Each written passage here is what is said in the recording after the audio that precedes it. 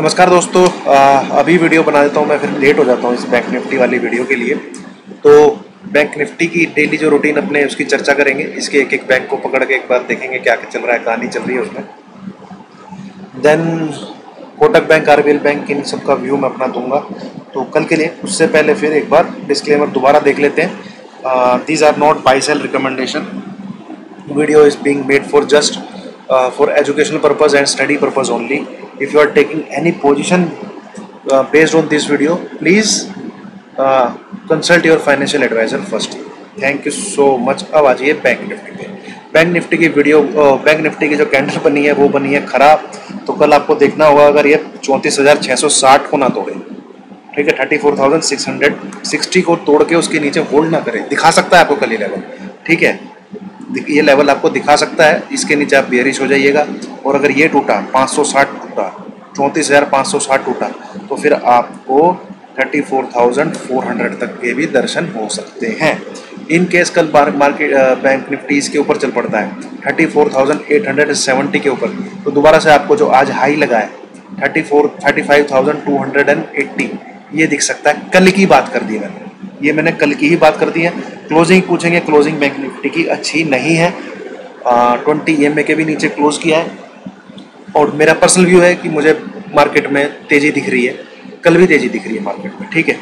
जिसने जैसे मर्ज़ी क्लोज किया हो, क्योंकि निफ्टी का चार्ट कुछ और ही कह रहा है। निफ्टी ने जस्ट गैप फिल किया, ठीक है? और उसके ऊपर ही मेंटेन किया है। और बैंक निफ्टी ने थोड़ा बहुत वोलेटाइल हो गए कैंडल बेरिश बनी है। तो इसलिए मैंने आपको नीचे की लाइनें भी बता दी हैं। मेरा पर्सनल व्यू मार्केट में ऊपर का ही है। बट मैंने आपको आज नीचे के लेवल भी दे दिए इन केट 660 टूटता है तो 560 560 भी टूटता है तो आपको 400 भी देखने को मिल सकता है 34,400 ठीक है? बाकी देखते हैं मार्केट में क्या होता है आगे गाइस कोई ज़्यादा दिक्कत वाली बात है नहीं। अब आज ये एच बैंक में और रीज़न बताऊँगा मुझे बैंक निफ्टी क्यों ऊपर लग रहा है। इसने भी अपना फोर्टीन एट्टी का लेवल जो है होल्ड रखा है उसके नीचे क्लोज नहीं किया है। एट्टी क्लोजिंग इसकी उसके ऊपर ही आई है ठीक है? और इसमें कल आप बाय करके चले हैं 1495 के ऊपर। 1495 के ऊपर अगर आप बाई करते हैं, ठीक है? सॉरी सॉरी सॉरी ये तो 1480 पे क्लोज हुआ है। हाँ 1488 1488 के ऊपर आप बाई करते हैं तो 1495 आपका पहला टारगेट होगा 1505 आपका दूसरा टारगेट होगा। और इस बार इसने जिस दिन 1505 के ऊपर क्लोजिंग दे दी तो 1520 1525 आपको नेक्स्ट डे दिखा देगा, ठीक है? ये है आपका आईसीआई बैंक का चार्ट गाइस आईसीआई बैंक ये ट्रेंड लाइन यहाँ पे रेजिस्टेंस ले रहा है, ठीक है? तो इसको आप बाई करें। ये मैंने थर्टी मिनट का चार्ट लगाया हुआ है। सिक्स थर्टी फाइव के ऊपर आप बाई करें तो आपको कल पक्का से छः सौ फोर्टी वन फोर्टी टू दिखा देगा पक्का से छः सौ फोर्टी वन फोर्टी टू दिखा देगा। और डेली क्लोजिंग ये भी एक भी छः सौ तीस के नीचे दे नहीं रहा। तो जब तक आई बैंक छः सौ तीस के नीचे डेली क्लोजिंग नहीं देगा तो मज़बूत है भाई। ठीक है? दोनों अपने सपोर्ट पे हैं, दोनों ने सपोर्ट नहीं तोड़ा है। इस वजह से भी मुझे लग रहा है कि बैंक निफ्टी कल तेज रहेगा। एक्सिस बैंक डे का डेली चार्ट लगाएँ तो ये थोड़ा ज़रूर नीचे आके क्लोज हुआ है। मैं डेली चार्ट लगाता हूँ ये ठीक है? बट इतना कुछ ज़्यादा खास है नहीं। किसी बैंक ने ब्रेकडाउन नहीं दिया है, जैसे कि परसों दिए थे। परसों हर एक बैंक ने ब्रेकडाउन दिया था बट आज ऐसे किसी बैंक ने ब्रेकडाउन नहीं दिया है। तो कल आप इसको 743 के ऊपर बाई करें।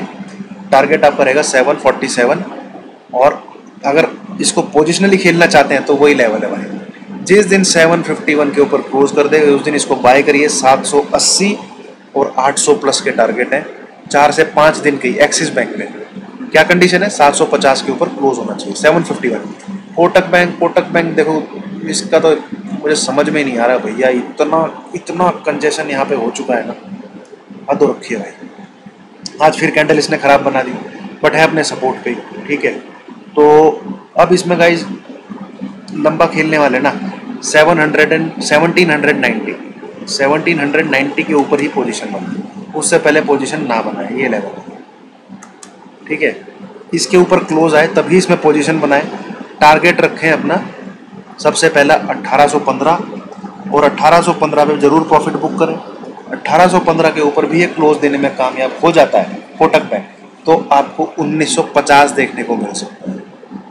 क्या बोला मैंने? 1950 देखने को मिल सकता है। ये आप नोट कर लीजिए इस बात देन अगला आता है आरबीएल बैंक आरबीएल बैंक को गाइज़ आप इंदुसिन बैंक के साथ लगा के चले। ये राम लक्ष्मण है, ठीक है? तो जिस दिन ये इंदुसिंध बैंक चल पड़ेगा, ये चलेगा कब? ये चलेगा जब तक इस लेवल के ऊपर नहीं निकलेगा। One zero three one. ये आप नोट कर लीजिए। वन ज़ीरो थ्री वन के ऊपर अगर चला गया, ठीक है? ये लेवल आता है आपका यहाँ इसके ऊपर क्लोज देते इसको बाई करना है। और अगर कोई कैश में बाई करना चाहता है तो यहाँ पे भी कर सकता है। एस एल रहेगा आपका 952 कैश की बाइंग में थोड़ा एस एल भी में नीचे पर टारगेट इसका 1250 है इंदुसिन बैंक का टारगेट 1250 है, ये आप नोट कर लीजिए। ठीक है? और ये कभी भी मुझे नहीं लगता 975 के नीचे क्लोज देगा। इस लेवल के नीचे क्लोज नहीं देगा। 975 ठीक है? 975 भी क्लोजिंग बेसिस आप एस लगा के 1250 के लिए इसको एक्यूमुलेट कर सकते हैं। पर सी वाले खेलने वाले भैया उसी दिन बाई करें, जिस दिन 1031 के ऊपर ये निकले और वहाँ पे क्लोजिंग ठीक है? और ऐसे ही आरबीएल बैंक चलेगा, इसके पीछे पीछे चलेगा। एसबीआई एक अटैम्प्ट लेगा कल। यहाँ पे ऐसे करके एक अटैम्प्ट ले सकता है और कल आपको चार सौ सत्ताईस दिखा सकता है एसबीआई ठीक है? एस लगा के चलिए आप 416 का। क्लोजिंग आई है इसकी 418 416 का एस लगा के चलिए। 416 के नीचे भी चला जाता है। तो कल ही आपको एस बी आई भी दिखा सकता है। ठीक है? और अगर जो सेफ़ रहना चाहता है, वो उसको 421 के ऊपर बाई करिए। 424 427 कल इंट्राडे के टारगेट रहेंगे। ठीक है? 427 के ऊपर क्लोज करने में कामयाब हो जाता है तो 440 450 दिखा सकता है आपको जून मंथ के अंदर ही। ठीक है? बंधन बैंक ने नेगेटिव कैंडल बनाई है। कल इसमें कुछ मत करिए।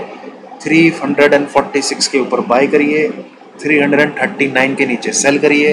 339 के नीचे आप सेल करते हैं तो आपका पहला टारगेट रहेगा 332 दूसरा टारगेट रहेगा 326 और अगर आप 346 के ऊपर बाई करते हैं तो पहला टारगेट रहेगा आपका 350 और दूसरा टारगेट आपका रहेगा 357 तो ये था गाइस बैंक निफ्टी का पूरा हाल। मैंने अच्छे से समझा दिया आपको। बैंक निफ्टी में एक बार फिर आपको बता देता हूँ कैंडल बैंक निफ्टी की खराब बनी है। बट जैसे कि दो दिन पहले सारे बैंक में ब्रेकडाउन आया था, ऐसे किसी बैंक में ब्रेकडाउन नहीं आया अब ये पता नहीं फ्यूचर ऑप्शन कौन से इन्होंने इतना फॉल दिखा दिया है। मैं वही देख रहा था H D F C bank में भी कोई ब्रेकडाउन नहीं है आई बैंक में भी ब्रेकडाउन नहीं एक्सिस बैंक में भी ब्रेकडाउन नहीं है। कोटक बैंक हाँ थोड़ा सा वीक है।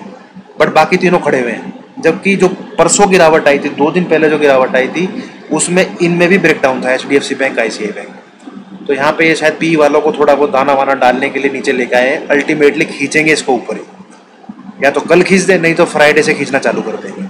ठीक है? तो ये था गाइज़ मेरा व्यू अगर वीडियो पसंद आ रही है एनालिसिस पसंद आ रहा है प्लीज़ लाइक कीजिए वीडियो को और चैनल को शेयर कीजिए। Thank you so much